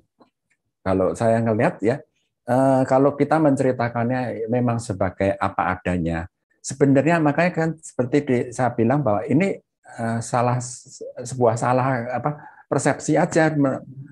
Lu Fangpo tidak mengatakan dia itu negara loh sebenarnya. Hmm. Dia tidak mengatakan dia kongse, kongsi juga. Nah, makanya kalau kita mengatakan ini sebagai sebuah kongsi ya ya memang seperti itu gitu. Cuma kongsi zaman dulu kan berbeda dengan saat ini. Kongsi zaman dulu itu punya angkatan bersenjata. Nah, angkatan bersenjatanya dari Lanfang sendiri itu tidak seperti VOC. Kalau VOC profesional prajurit. Yes. Ya. Kalau uh, Lanfang dia adalah milisi. Jadi eh, semua anggota yang masih muda dilatih, dia harus menjalani wajib militer. Nah kalau sudah, ya udah eh, berapa tahun dia keluar dari milisinya itu. Jadi dia itu milisi. Eh, nah makanya agak sedikit berbeda dan kalau umpamanya kita menceritakan ini apa adanya, ini sebagai sebuah kongsi yang memang kekuatannya besar, ya rasanya nggak soal ya gitu. Tapi dari beberapa buku hmm. referensi buku sejarah hmm. yang memuat tentang Lampang itu memang kecenderungannya uh, negatif, Pak Cang. Jadi uh, mungkin ini adalah eranya keterbukaan, sehingga hmm. kita perlu nulis buku sejarah, ya meluruskan, mungkin ada tim apalagi. Iya. Ya, untuk meluruskan sejarah-sejarah mana yang ya setidaknya apa adanya lanfang gitu begitu. Iya, sebetulnya seperti itu. Memang kita memang harus membuatnya seperti itu. Memang diluruskan saja. Memang jangan kalau eh, ya memang itu kan ada sebuah kekhawatiran ya. Jadi oh ini kok eh, sebuah republik Tionghoa bisa ada di eh, di Kalimantan yang didominasi oleh Melayu gitu kan. Sebetulnya kan gitu. Nah, padahal Melayu sendiri juga sebuah pendatang juga kan di situ. Aslinya adalah Dayak. Sebetulnya. Nah, tapi dia Melayu itu datang pada saat Sriwijaya gitu. Hmm, Pak Nyoto suaranya ketutup. Mikrofonnya ketutup. Ya, ya maaf, maaf Pak. Hmm. Jadi kalau seperti Kesultanan Al-Qadri itu, Kadaria itu kan juga dari Timur Tengah. Hmm. Jadi sebenarnya juga itu uh, pendatang. Iya, pendatang. Uh, pan, uh, kalau um, Mempawah itu kan kalau nggak salah dia saudara sama Siak gitu, Sultan Siak gitu. Sultan Siak juga bukan uh, sini juga dari pendatang. -uh. Ya, karena dia ada Said, ada Syarifah, itu juga ya. turunan Yaman. Ya memang sih, makanya uh, memang uh, dalam keadaan sekarang ini masih apa uh, sensitif lah gitu ya. Dan, dan di zaman zaman dulu juga, kalaupun ada orang keturunan Tionghoa juga kan tidak diekspos juga, ya kan? Nah, seperti Raden Patah, Jinbun, Jinbun, itu kan orang akan mengeksposnya itu. Baik, baik. Terima kasih ini penjelasannya Pak Cang. Iya. iya. Terima kasih Mbak ya. Yuk, sama-sama. Ya, terima kasih Pak Nyoto. Oke, langsung berikutnya di chat ada pertanyaan dari Budian. Mau hmm. tanya, apakah Republik Lampang dapat dimunculkan kembali, di mana kita bisa melihat sisa-sisa sejarahnya? Nah, itulah ah, itu termasuk sedikit dia punya catatan sejarahnya Republik Lanfang itu sedikit, tidak banyak. Karena memang tidak ada tercatat terus gitu juga di Tiongkok sendiri tidak terlalu banyak dicatat karena masalahnya itu kan dulu yaitu eh, ada eh, kebencian dari dinasti Qing juga terhadap orang-orangnya Republik Lanfang, orang-orang yang lari ke ini ya Borneo lah gitu. Karena itu dulunya banyak pemberontak pemberontak typing itu kan yang lari ke sana. Nah, itu itu yang mengakibatkan juga data-data itu sedikit yang termasuk eh, data yang valid yang punyanya JJ Groot yang tadi yang di apa diangkat.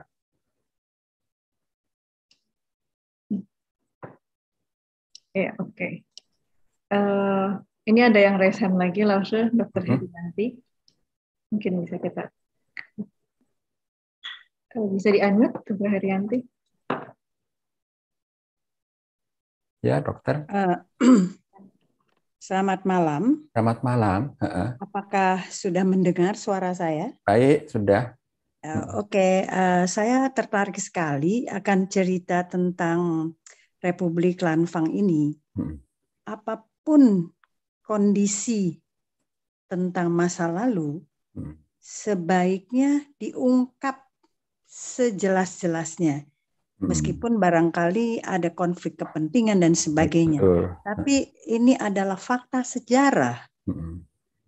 Menurut saya, mari kita bersama-sama uh, berpikir jernih bahwa apa pun yang terjadi adalah bagian dari sejarah Republik Indonesia yang kita cintai ini. Betul. Ya, satu itu. Dan yang kedua, saya sebagai arkeolog, hmm. saya hanya ingin tahu apakah ada rumah atau makam atau apa pun lah yang terkait dengan tinggalan dari Republik Lanfang ini. Nah, Kalau memang ada, hmm. menurut saya, ayo kita bersama-sama meneliti sehingga hasil penelitian ini bisa lebih komprehensif tentang hmm. Lanfang ini. Karena ini sangat penting menurut saya.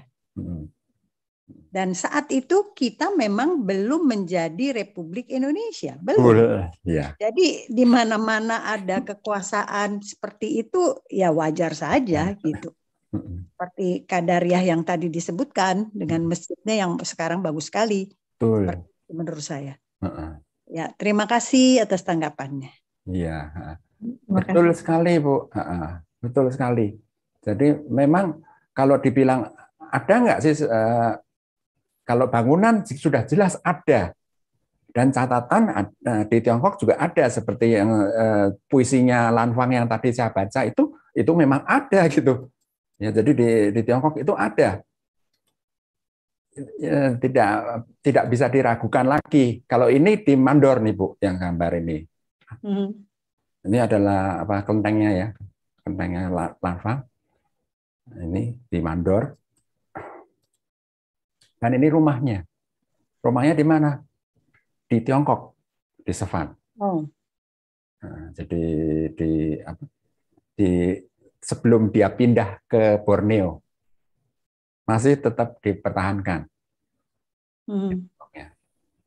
Jadi ini memang ada, cuma ya eh, secara detailnya itu memang tidak ada catatan gitu, karena sudah habis ya, dimusnahkan. Nah, itu. Dan sebagian dari orang Lanfang itu yang melarikan diri adalah ke Singapura. Uh, barangkali kalau kita teliti telusuri malah kita bisa melihat bagaimana arus persebaran dari Lanfang, dari Kalimantan sampai ke Singapura dan sebagainya.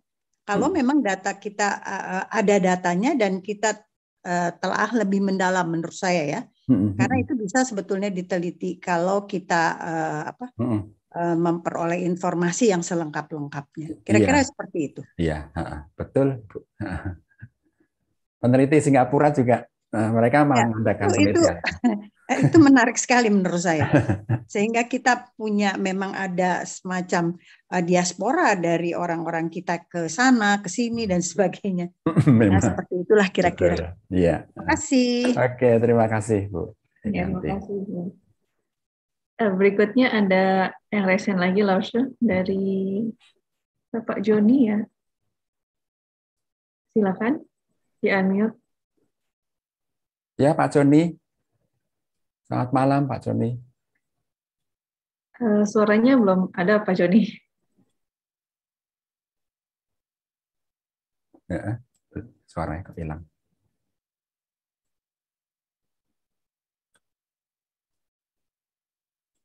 Belum belum muncul ya suaranya. Iya.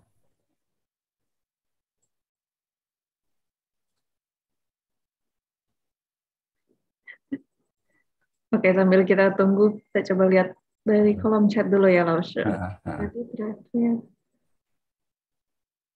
Oh, tadi ada dari Pak Ahmad Sofian, mau izin menginformasikan juga Pak Chang. Di daerah Purun masih ada kelenteng peninggalan Kongselan Fang. Iya. Tadi tanya ada peninggalan atau enggak, mungkin bisa tanya-tanya juga Pak Ahmad Sofian ya. Iya. hmm. Di sini ada Pak Texiang nih juga dia tahu. Terus eh, lanjut di daerah Montado juga terdapat tiang kapal. Kalau apa peninggalan-peninggalan itu ada, cuma kan memang yang dicari kan adalah detail, detail apa catatan sejarahnya itu. Nah itu yang nggak tidak tahu di mana itu dapatnya itu detail jadi apa eh, paling cuma yang punya JJ Groot punya itu yang menjelaskan bahwa oh ini adalah satu sebuah sistem demokratis yang ada. Eh, sampai dipuji gitu semua orang. Wah ini kok seperti sebuah negara republik ya. Walaupun nggak nggak dituliskan sama dia nggak nggak menuliskan ini sebuah negara republik. Orang-orang sekarang yang mengatakan itu adalah Republik Lanfang gitu karena kesalah kaprah itu. Kalau yang dikatakan sama si Lo Fangbo kan itu sistem agung tang itu mereka. Dari YouTube mungkin ada yang mau tanya juga bisa tulis di kolom chat ya. Di YouTube ada yang nonton loh. Oh ya. Cuma chatnya sepi. Ini tapi ini banyak nih di chatnya. Okay. Oh, iya. uh, berikutnya, salah satu peninggalan Lanfang adalah bekas tambang dijadikan kuburan massal oleh kekejaman Jepang dan sekarang dikenang. Montrado, uh, iya, iya. Hmm. Ya, terus, Tapi itu, itu, itu, itu, itu sesudah Lanfang gitu. Halo, bisa dengar Pak? Ya, sudah bisa. Ya, sudah bisa Pak. Silakan Pak Joni. Eh, Alhamdulillah, terima kasih Pak Chang. Hmm. Saya senang sekali mendengar uh, materi Bapak. Mudah-mudahan ini bisa disebarluaskan gitu. Hmm. Uh, mohon maaf Pak Nyoto, ya, memang ada apa tadi ada kekhawatiran, hmm. tetapi karena uh, kan, saya dari Bukit Tinggi, di sana ada kampung Cina dekat Jam Gadang dan hmm. saya dari kecil di SD Fransiskus Bukit Tinggi sudah berteman dengan berbagai suku bangsa. Jadi uh, dan teman akrab saya dari kecil itu orang Tionghoa. Nah, hmm. nah, sampai saya berdagang juga di Bukit Tinggi dari SD sampai SMA itu uh, teman dagang kami malah orang Tionghoa semua. Uh, oh, yeah. sebagian besar. Jadi uh, saya uh, malah uh, sangat senang itu ada hikmahnya bagaimana suatu uh, suatu komunitas uh, untuk mempertahankan uh, hidupnya dia lari dari kampung halamannya hmm. karena perbedaan tertentu ya kemudian membentuk komunitas baru dan dia dengan segala dinamikanya bisa bertahan puluhan tahun bahkan lebih dari 100 tahun gitu. Nah, mudah-mudahan ini banyak hikmah yang bisa diambil, apalagi sekarang ada eh, Rusia ke Ukraina dan segala macam ini sampai nanti barangkali akan selalu begitu ya namanya di dunia. Tapi ya kita berusaha untuk menjaga perdamaian itu eh, dengan prinsip-prinsip yang sudah disusun oleh pendiri bangsa kita, iya. yaitu mudah-mudahan nah, nilai-nilai itu tetap bisa kita pertahankan dan hmm. mudah-mudahan dengan teknologi ada istilah sekarang metaverse, barangkali kongsi lang langfang ini bisa dibuatkan metaverse-nya sehingga kita bersama nanti bisa iya. masa ke dunia 200 tahun yang lalu ya. Iya. Terima nah, kasih Bapak. Yo. Ya mudah-mudahan bisa seperti itu. Itu sangat apa, membantu sekali sih kalau bisa dibuat ya seperti metaverse itu ya. Iya. Cuma saya tidak bisa terbayangkan itu. Ada generasi muda seperti uh, uh. Adinda Yowan gitu dan teman-temannya ya. ya. Suruh buat ya. Anak saya aja sekarang jadi IO-nya game online gitu dia mm. tamasanya sudah main perang-perangan ke dunia zaman kapan itu? Ya makanya itu ya. Nah, itu memang zamannya akan masuk ke situ sebetulnya Pak. Jadi yeah, zamannya yeah. akan masuk ke yeah. virtual gitu. Iya, virtual. Iya. nah, tapi tadi dari ceritanya saya banyak banyak dapat hikmahnya. Terima kasih. Sama-sama. Pak Cang. Terima kasih juga Pak Nyoto udah mengingatkan. Nah, ini ada ini ada sesuatu. Ibu Herianti Salam hormat kepada para arkeolog karena eh, banyak jasa mereka mengingatkan kita bahwa kita ada asal usul yang sama iya. ya. Betul. Iya. Bukan asal usul yang sama. Hmm. Pasti mix. Gitu Iya, kalau... ya, uh, mix ya, ya. Pasti ya. mix. saya ada sedikit uh, share kalau men, uh, ada saya tanya gitu. Hmm di Bukit Tinggi itu ada tingkatan tertentu ya di suku hmm. aslinya itu uh, istilahnya Kurai Limojorong gitu ya. Mereka punya tingkatan di dalam demokrasinya itu ada uh, penghulu yang lima, kemudian ada yang sembilan, ada yang dua belas. Gitu. Nah kebetulan hmm. suku kami nggak masuk ke dalam yang paling tinggi yang lima gitu. Hmm. Saya tanya sama salah satu uh, penghulunya, mengapa suku kita nggak masuk kepada yang lima. Nah, apakah kita nggak asli dari situ? Gitu. Nah, kata dia, kata beliau, sebenarnya di Bukit Tinggi ini kita nggak ada yang asli. Kita semua pendatang. Yang asli di sana adalah uh, uh, orang utan, monyet, harimau, gitu. jadi, jadi kita sih justru pendatang semua gitu. Nah, kita membentuk komunitas bersama-sama. Nah, kebetulan waktu itu kemufakatnya seperti itu gitu ya kita hormati gitu. dan dalam kenyataannya eh, memang eh, bapak saya masuk ke dalam eh, suku yang lima, apa penghulu yang lima dan kakek saya juga masuk ke situ, tapi dari suku ibu saya nggak masuk. Gitu. Oh. Jadi sebenarnya betul Pak Chang kita mix gitu ya. Uh-uh. Kalau diperiksa DNA kita mungkin kita saudaraan semua udah. Asik, ya. ya. Terima kasih. Ya, terima kasih. Bermanfaat. Siap. Ya, makasih. Selamat malam. Terima kasih. Selamat malam Pak Joni. Ya. Oke, lalu berikutnya dari Dr. Sugiharta Tandia. Mau tanya Lausha, apakah hanya suku Hakka yang masuk Borneo? Tidak. Yang besar dua, Hakka sama Teochew. Caco. Jadi itu dua. Ya, terus pada zaman-zaman berikutnya mungkin ada juga orang Hokian, tapi yang paling tidak ada, tidak dominan ini, dominan ini Hakka sama Teochew. Hmm. Terus ada makanan kuno di ada makanan kuno China di Parit Haruna, Jalan Karya, Kota Baru Pontianak. Apakah itu juga peninggalan dari Republik Lanfang? Wah, kalau itu tidak tahu. kalau itu tidak tahu. itu uh, detail sekali ya, Laus. Tanya orang sana asli. Oke, terus berikutnya mana tadi?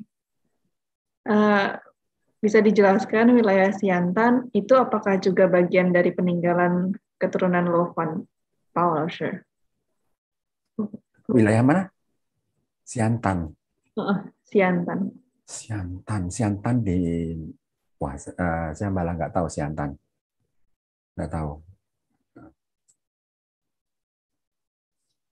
Hmm. Siantan sebelah mana ya?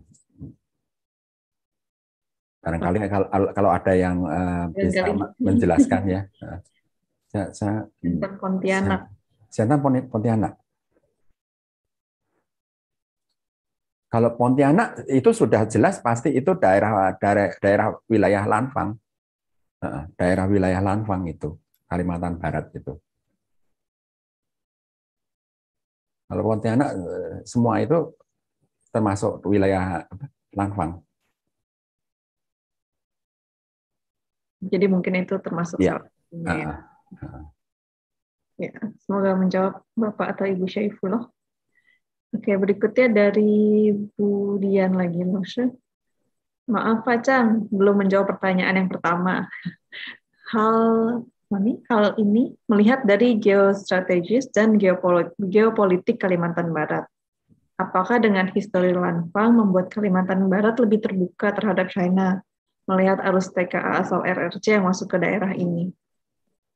Lebih terbuka terhadap China, eh, ya sudah. Kalau begini terhadap Tiongkok terbuka ya sudah jelas kan? Dari dari awalnya kan? Dari awalnya karena ada kedatangan ini. Bayangkan pada zaman itu 2000 orang dari Tiongkok datang per tahun ke Lanfang. Pada saat itu bisa dibilang di, eh, di Kalimantan Barat paling banyak 100 ribu orangnya. Paling banyak. Itu 2 ribu orang Tionghoa masuk ke Kalimantan Barat. Nah, membuat, kenapa? Membuat adalah jumlahnya populasi orang Tionghoa di Kalimantan Barat menjadi besar sekali. Sudah jelas gitu. Dan mau tidak mau juga itu pasti akan lebih terbuka terhadap orang sama orang Tionghoa. Sudah jelas. Dan perlu diketahui bahwa sekarang ini di Indonesia, provinsi kedua yang terbesar mayoritas Tionghoanya adalah Kalimantan Barat. Kedua, ya. Kalau pertama DKI sudah jelas, tapi yang kedua Kalimantan Barat. Gitu. Hmm. Oke, mungkin ini uh, Pak Syaifullah ada mau menambahkan, ada raise hand langsung. Silakan Pak Syaifullah. Oh ya, terima kasih. Suara saya terdengar ya, Kak ya? Iya. Iya, uh, salam hormat saya dan salam sungkem untuk Bapak. Uh, saya perkenalkan, saya Syaiful, saya dari Laboratorium Sejarah IKIP PGRI Pontianak yang tadi bertanya dan baru saja memang saya belum kenal Tionghoa. walaupun walaupun anak saya itu uh, masuknya sipit. Nah di Pontianak kan banyak teman. ya karena itulah saya itu baru datang, baru di sini bekerja sehingga saya kok menarik sekali yang diutarakan Bapak tadi. Makanya tadi saya bertanya ada makam yang di sini dekat sini nih makam Cina kuno. Oh ya. Dan orang tua orang tua di sini tidak ada yang tahu dari mana gitu. Apakah dari Lanfang atau uh, kemarin itu ada penelitian dari Anggau yang saya mikir loh apakah pertanian tadi itu ada hubungannya dengan uh, apa tadi pola sistem tani yang dikembangkan oleh Cina karena memang di sana itu di Sanggau yang agak jauh itu saya lupa desanya ternyata banyak Cinanya juga gitu sehingga saya mikir wah kayaknya ada hubungannya dengan sistem pertanian yang ada di yang dikembangkan oleh uh, Cina tadi gitu loh. Nah, Sampai. gitu aja Pak. Dan juga saya mohon maaf, Bapak tahu suatu saat saya bisa silaturahmi dan mengundang Bapak untuk menjadi pembicara untuk kami. Minimal kan mahasiswa kami kan banyak yang dari Tionghoa oh, dan iya. mereka juga tahu sejarah. Boleh, boleh. Supaya nah. tadilah eh, sarana untuk meluruskan sejarah tadi. Ya, ya gitu. Boleh. Terima kasih ya, dari saya. Terima kasih. Terima kasih, Ya, Sanggau termasuk memang itu salah satu daerah apa penambangan. Sanggau. Iya, iya.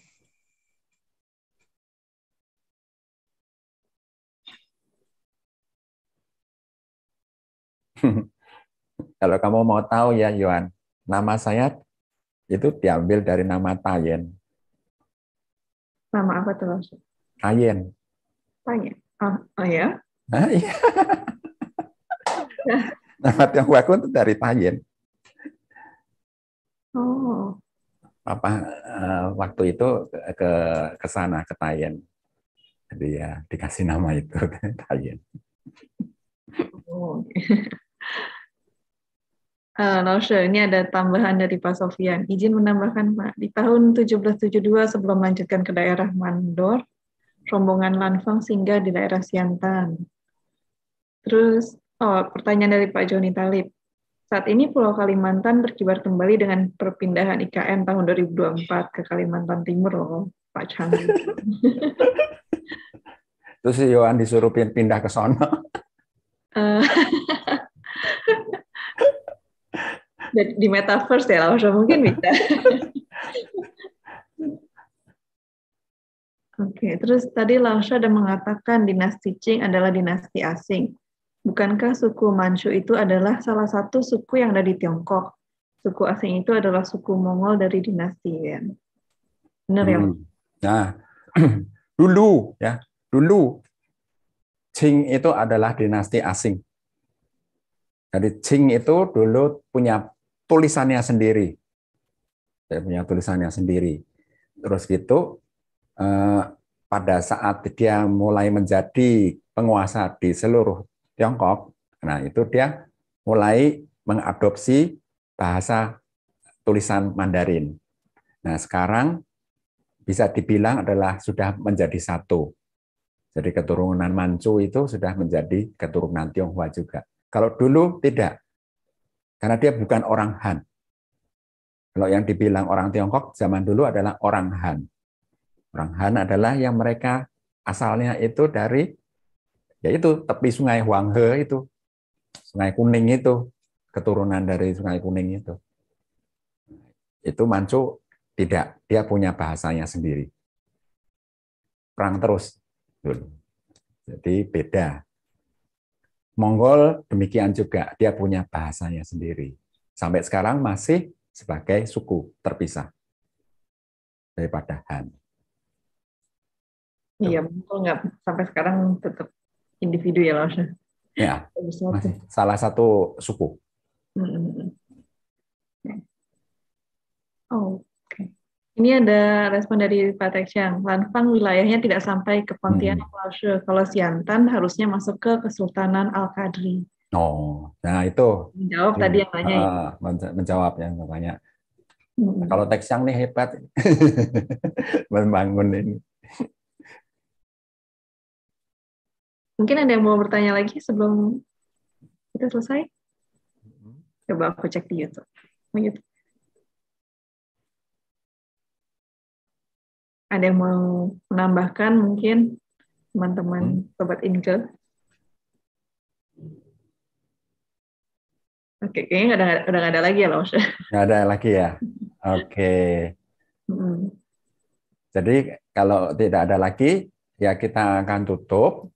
Nah, eh, kita akan skip untuk waktu tiga minggu ya, Yohan. Jadi tidak dua minggu karena dua minggu nanti ada ada apa rapat PSMTI Rakernas PSMTI. Jadi oh, okay. uh, eh, skip jadi tiga minggu lagi baru kita akan ketemu. Nah, dan untuk pembahasan tiga minggu lagi adalah mengenai HK, ya orang-orang HK, ya. Nah, nanti kalau ada yang berminat untuk membantu saya menceritakan sejarah orang HK di daerahnya, silahkan ya. Karena saya saya akan menceritakan mengenai sejarah orang Hakka di Tiongkok. Nanti juga mungkin si Sarah akan cerita mengenai keadaan Hakka sekarang ini. Terus gitu, ya mungkin sejarah yang Hakka yang sedikit-sedikit di daerah-daerah ini barangkali ada teman-teman yang mau membantu menceritakan, boleh ya, karena topiknya adalah Hakka.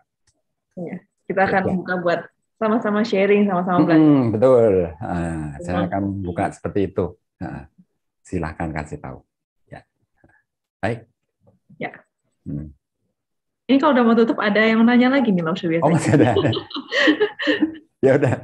Satu nih, uh, Pak Freddy Setiawan. Ke mana tadi pertanyaan? Oh, kok ada suku yang nyampur jadi Han dan ada yang tidak ya Lausha? Ya memang.